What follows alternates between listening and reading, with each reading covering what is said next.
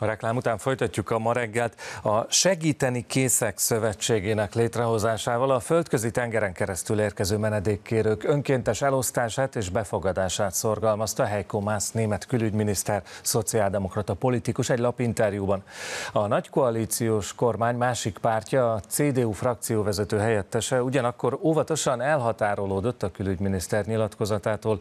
Hangsúlyozta, figyelni kell arra, hogy egy esetleges elosztási mechanizmus miatt ne induljanak még többen útnak. Erről is szó lesz, Barna, tiétek a szó. Köszönöm szépen, Nógrádi György biztonságpolitikai szakértő, egyetemi tanár. Jó reggelt, professzor úr! Jó reggelt kívánok! Heiko Maas, ugye szociáldemokrata külügyminiszter a Németországnak, és a Segíteni Készek Szövetsége mögé oda tett, hogy ezt meg kell alakítani, nyitott, kötelező szétosztás lesz majd, bárki csatlakozhat, és hozzátette, hogy az mégsem fordulhat elő, hogy a menekültek addig várjanak a földközi tengeren hánykolódva, míg valaki befogadja őket. Ez mennyire számít erős mondatnak úgy, hogy már a hazájában a vele koalícióban lévő egyik párt képviselő is azt mondta, hogy na azért ezen finomítsunk. Következőket kell tudni. Heiko Maas egy szociáldemokrata politikus, szárvidéki. A tartományi választásokon mindig vereséget szenvedett az Annakirét Kamkarenboertől, aki tartományi miniszterelnök lett, majd a CDU főtitkára, tavaly december óta pedig a párt elnöke. A másik megjegyzés, hogy a más tették egyik miniszteri posztra a másikra, Elnézést kérek, ő nem egy karizmatikus politikus, és nem egy szakértő. Bocsássam, professzor, ez az, amikor arra kire azt mondják, hogy titán úr, hogy titán, Igen, titán tudjátok használni valamire? Na most ez egy szörnyű nehéz dolog, mert a MÁSZ is nyilatkozik. Hát ő német külügyminiszter, ez egy rendkívül komoly pozíció. Most, amit a bevezetőben elhangzott, teljesen igaz, újra elővette azt, amit néhány évvel ezelőtt már nem tudtak keresztülvinni, a migránsok önkéntes befogadása, majd kötelező befogadása, és ennek a szétosztása. Ennek jelenleg semmiféle realitása nincs, a MÁSZ azt mond, amit akar, Európa döntő része ettől elhatárolódik. A MÁSZ egyébként azt is mondta egy nappal ezelőtt, hogy Brüsszelben 16 német szociáldemokrata képviselő van. A probléma az, hogy ezek neki mennek a koalíciós partner von der Leyen eddigi védelmi miniszter jelölésének holnap fog eldőlni, hogy a von der Leyenből lesz-e Juncker utóda, igen-e vagy nem. Brüsszel és Berlin kapcsolata hogyan alakul ennek fényében? Ez egy érdekes dolog. Feltételezve, hogy von der Leyen jön, de ez egy kétesélyes játszma, tehát ez nem biztos. Ha jön, akkor nyilvánvaló a következő. Egy, von der Leyen egy önálló személyiség, tehát ő nem kismerkel. Kettő, Ettől kezdve az alapkérdés, hogy hogy fog kijönni az Európai Unió egyik vezető hatalmával, Berlinnel. Három.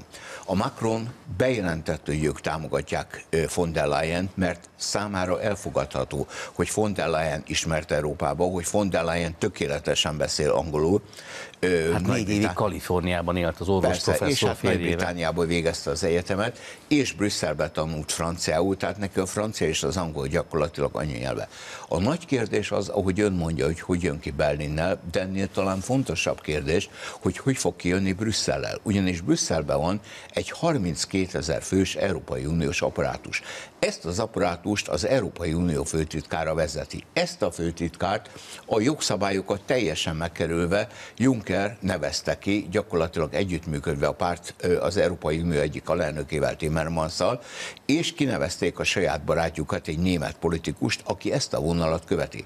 Tehát a kérdés az, hogy egy új első ember Brüsszelbe mennyire tud megszabadulni a Junckeri gárdától, képes lesz-e von der Leyen arra, hogy a saját egyébként bevált apparátusát fölhozza Brüsszelbe, vagy kénytelen lesz egy ilyen apparátussal dolgozni, és ez a kezeit le fogja fogni. Ennek a főtitkárnak, aki német, ha Így jól van. tudom, nem lehet azt mondani egy új bizottságban, hogy érdemei elismerése mellett megköszönjük a munkát? De csak ő azt fogja mondani, hogy ő nem érti a mondatot, mert őt x időre nevezték ki, az érdemei megvannak, és ő folytatni fogja a munkáját. Tehát itt megint a kérdés az, hogy milyen kompromisszumot lehet kötni, és Brüsszel lényeg ez a szó, hogy kompromisszum. És rengeteg a probléma Brüsszelbe. Brexit. Ha kívánnak a britek, ennek a valószínűsége most már óriási. Ettől kezdve Európa meggyengül. Ki lesz a vezető? Nyilvánvalóan Berlin-Párizs. Hogy jön ki egymással az a Berlin-Párizs, ahol Berliné volt hagyományosan a vezető szerep, de Merkel meggyengült.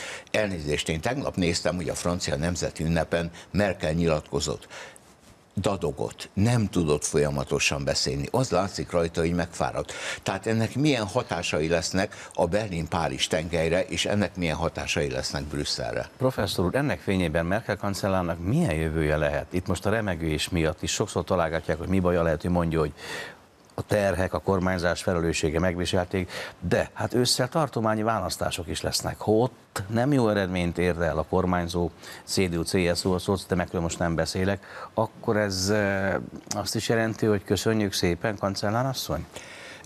Ez egy nehéz kérdés. Egy, Merkel bejelentette, hogy 2021-ig a következő országos választásig szeretne maradni. Hogy tud vagy nem, az egy más kérdés. Kettő, ahogy ön mondta, most szeptember 1-én két volt NDK-s tartományba választás lesz, majd utána októberben harmadik volt NDK-s tartományba. Ezekben a tartományokban kőkemény az AFD. A teljes német hagyományos sajtó jelenleg idézőjelbe az AFD gyilkolja. Nyilvánvaló, hogy a CDU ezekben a tartományokban túl jó nem fog szerepelni, az SPD még ennél is rosszabbul, és ahogy ön mondta, milyen fejek fognak hullani itt? Két fej jön szóba, a pártelnök AKK és a kancellár Merkel. Merkel azt fogja mondani, hogy ő a választásokért nem felelős. Formailag ez igaz, valóságban nem igaz.